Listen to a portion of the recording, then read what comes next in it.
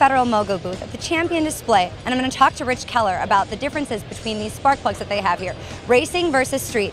Rich, tell me some of the differences. The difference between a street plug and a racing plug is primarily heat range and the expectation of durability.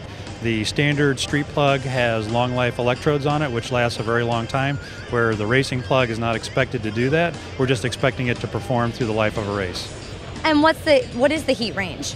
The heat range is that definition of the uh, capability of the part to conduct heat. Um, they tend to have very cold core noses and also very short ground electrodes.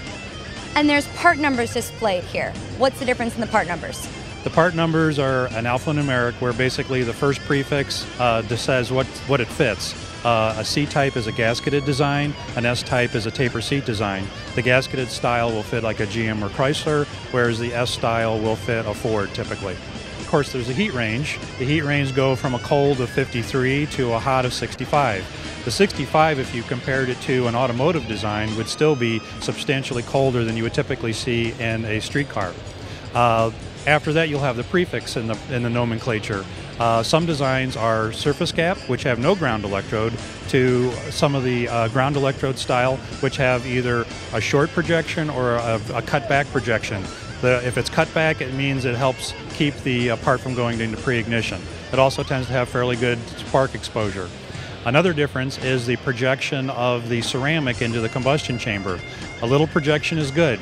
If you can get some projection, uh, you tend to get better combustion. So tell me the differences between a surface gap style versus a with ground electrode.